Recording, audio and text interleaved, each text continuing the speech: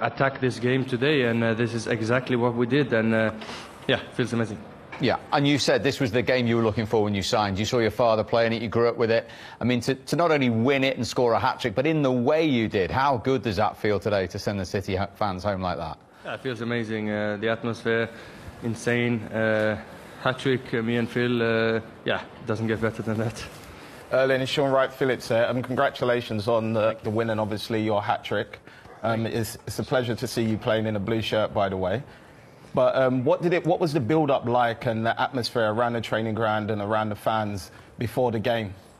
Yeah, you know, we were at the national team, so we, every, everyone played different. Uh, different uh, games and everything. Uh, but we came back on uh, Thursday training. It was easy. Didn't do a lot, but Friday. That's when I uh, I felt it. You know, I came in. I came in the in the training ground, and I directly felt that okay, now something special is going to happen, and uh, and uh, it's it's hard to explain. You just you kind of have to experience the the feeling and the kind of I don't know the aura or the energy around it.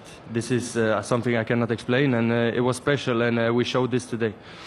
Erling, you're the first person ever to score three uh, home hat tricks in a row in the Premier League, and you're the fastest to three hat tricks. You've taken the record off to Michael Owen uh, by 40 games, actually, sitting next to me, but he amazingly still wants to talk to you. No, I've got no records left, Erling. You've taken them all off me now. But I sat in this chair, Erling, only, uh, only a few weeks ago. I think you'd only played three or four games, and I said that you could score 50 goals in all competitions this season. I think a lot of people laughed. Um, I'm now thinking I was stupid. Maybe it's 60 or 70 the way you're going. But, I mean, these records obviously mean something to every striker. Yeah, you know, records are, you know, of course a striker thinks of goals. But when I go into a game, I don't think of, oh, now I want to score a goal. No, I cannot do this. I have to relax and do everything right. And if we do everything right, then the chances will come. And if the finish is, finishing is good, then the finishing will go in the goal, and that's exactly how I have to think. And uh, when I score one goal, celebrate. It's a good feeling, so I want to do it again. And to do it three times, nothing's better. And we're just watching the goals there. I know you've spoken about him before. Three consecutive home games for Erling Haaland. Never been done before in the Premier League. Outstanding start to what's going to be a stellar career. He is the star man among stars. And Phil Foden, who's not too far behind, joining that hat-trick rota. Remember, there only ever been two hat-tricks in a derby before for Manchester City. Two today in one game. He started it and he finished it. But United weren't totally finished. Martial got a couple. And Antony fired in from distance. The end of an excellent run under Erik Ten Hag, who loses his first derby like the five United managers before him. He said he'd go back to one point behind Arsenal. That's their challenge to get back to the top of the table, but they're certainly top dog in Manchester by this extraordinary scoreline of City 6, United 3. A comprehensive win then for Manchester City, and even with those second half goals, Manchester United never looked like getting into that game. A difficult afternoon for Erik Ten Hag, but City on fire. It was a hat trick for Erling Haaland, it was a hat trick for Phil Foden. They haven't had a City player score a hat-trick uh, at Manchester City since 1970 in this fixture. They had two on the same day and in the same game. Phil Foden and Erling Haaland have a match ball to fight over, although we know. Uh, but Phil Foden's got his hands over it, on it for now.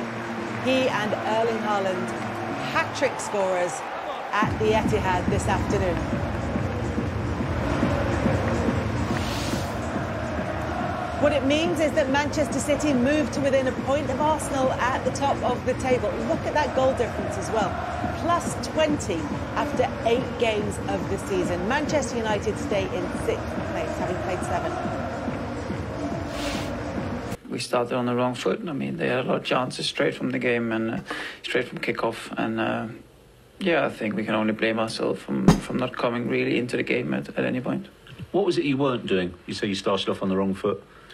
Yeah, I think we missed a bit of courage to, to play out from the back and uh, we let them be in their strength. Um, so yeah, I think the, the main focus of this game will be on ourselves. I mean, there's a lot of things that we we need to change, uh, a lot of things we need to do better. Um, yeah, today was uh, was far from accept acceptable for what we should be doing. Having made such strides recently, won your last four, does that feel like a big step backwards from the progress you've made? Like you said, it's still progress. I mean, if you would be winning anything, it would be a different conversation. But uh, there'll be bump on the road, and I think we're going to take this as a very tough defeat. But again, there's a, there's a next game in the next few days and, uh, and the weekend after. So it's really just about uh, getting back up, and uh, yeah, it shows character, and we need to do that. Any defeat is bad, and a heavy defeat is bad. But the fact it's the Manchester derby, does it make it that much worse? Yeah, of course. I mean, you always want to, to beat the rivals. I mean, you always want to, to win the derbies. And uh, yeah, like you said, the, the games before at home, we done very well, not only against the rivals, but against the top teams. We, we won them, and then we come here and we lose. I mean, it's a, of course, it's tough and uh, something that we need to do better. And then when we play them next time this season, hopefully we'll be on, the, on a better foot. After a day like today, do the players have to have honest conversations with each other? No, I think as a group, I think everyone as a group will be looking uh, looking at themselves first of all, and then after tomorrow, tomorrow we'll have a, a meeting with the manager, and uh, we'll go, probably go through everything that uh, that went wrong today, and then uh, from there we'll take on uh, on the next game. Thanks for talking to us. Welcome. That will be a painful meeting. Um, what frustrated you the most about United today? Because you were optimistic before kick-off. I'm always optimistic before games. Just, look, look, City were brilliant, but I, I think we'll probably look in more detail at the goals later. But I think a lot of them goals could have been prevented. I think team selection possibly he might have got wrong. I think he got carried away a little bit. the bit. Eriksen Fernandes thing. Eriksen Fernandes thing, yeah. Look, Eriksen is predominantly an attacking player.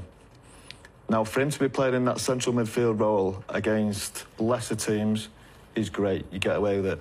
But once you go to a Manchester City against a top class team, you don't know where you are because there's that many quality players around. They keep the ball that well. All of a sudden, you've got Bernardo Silva behind you. You've got Kevin De Bruyne coming at you. You just don't know where you are. It's, it's, it's a it's a different, it's a totally different world than when you're playing against these these so-called lesser teams. Um, and he, he got found out today. Um, it's not his position. He probably he's the one who probably wants to play in the Fernandes position. Really, that, that that's where he wants to play.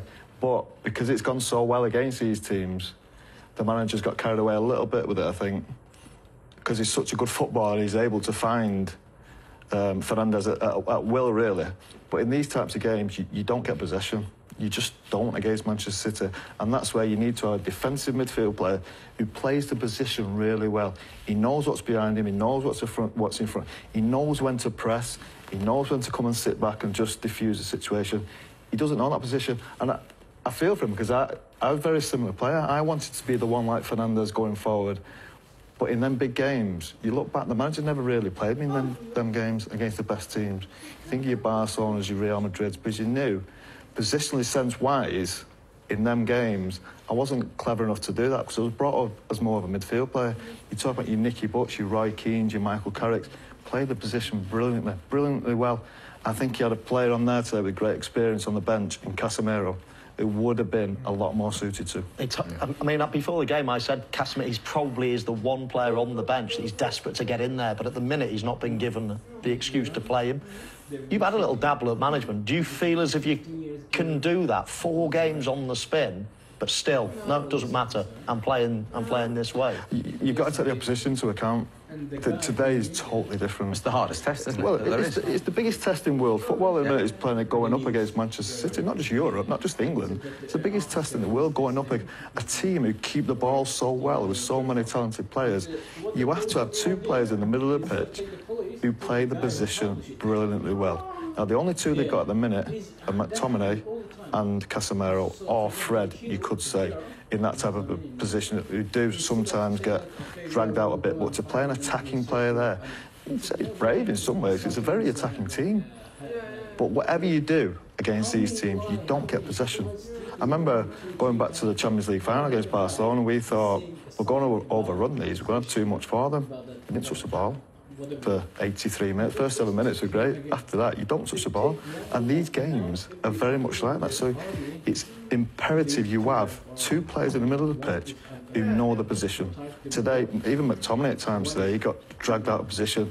He got dragged out of position. The third goal. For the third goal, and that leaves Eriksen.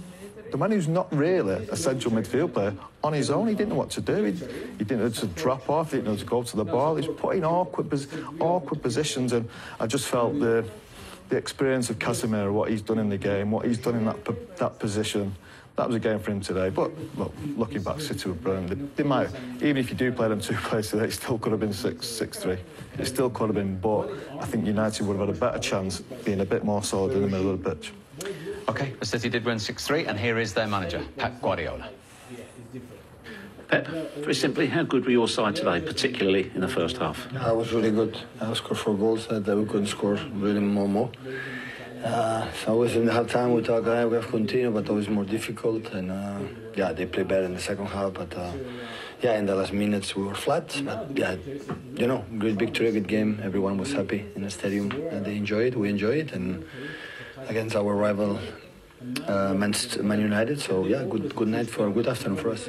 As well as the scoreline, for you as a coach, again, particularly in that first half, what did you like the most? Uh, we could, yeah, in general was was really good. Uh, how how aggressive we were without the ball. They could not play, but of course when when they have Lisandro and, and Bruno and Eriksen and all of them, they have quality to play. We, we saw a little bit in a few minutes in the second half. But in the first half we were there in the third. We were really good. We were the spaces, and after the quality of the players we have up front make the difference. As well as the quality you have, was also on their show today, not for the first time, the desire. It happened for the day one we are here, so this is non negotiable. So we can win or lose, but the effort and the desire and help each other. But many things we can do better, and and uh, some players still are not. Uh, they were not good today, and uh, we had to improve. Is that the sign of you always looking for perfection, even though it's a tremendous scoreline? You've got two players score a hat trick, but you're still not completely happy. Listen, perfection doesn't exist, so it's impossible. But we have to try to look for go over there. So that's for sure. So not the result, the six goals they did. We have done it good. We can do better, and many many players, a few players, sloppy passes, we lost it, and that's not good. We have to be more consistent in our in our passes. So. And at the end of final third, you can be more creativity, you can be take more risk, but in some areas, still we are not, we were not good. When United scored that third goal, Shaun said to me, "Pep won't be happy, you know." you know him well, don't you? Yeah, but I just think I think even if you speak to Mo or Paul, if you're that comfortable in a game, the last thing you want to do is give false hope because then it just makes your game even harder because United were going to keep going to try and get another one just to close the gap in the situation so it doesn't look as bad as it was. So to concede three goals, you could see for the first time, I would say, they looked like they took their foot off the gas, which when you brought on the fresh legs, I thought Alvarez is going to want to get a goal, Mahrez, Cole Palmer, you thought they was going to go for it, but it seemed like they stepped backwards rather than forward. Mind you, in the last eight home games, they've scored 36 goals now. Manchester City. What's conceding three goals? I mean, it doesn't make any difference. But it does to, to But it does absolutely. And to be honest, he's got to. He's got to be like that. I mean, you look at they let you know the Champions League slip from being sloppy. You know they're in total control. So when you get into these positions in the league, you, you know you've got to practice closing games out, winning by more, whatever, what, however you're going to do it. But to concede three goals in the second half, as much as he'll over overall he'll be happy, there's still something there for him to work on. Still something there for him to be frustrated about. Okay, but it's still the three points for Manchester City. They have blown Manchester United away today by six goals to three at the Etihad in the record derby goal scoring tally.